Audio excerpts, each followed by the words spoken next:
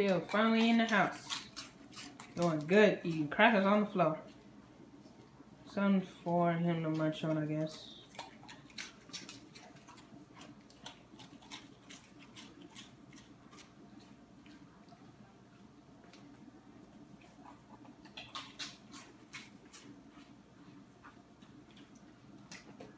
Such a cute puppy. Such a cute puppy. You still? Still look up.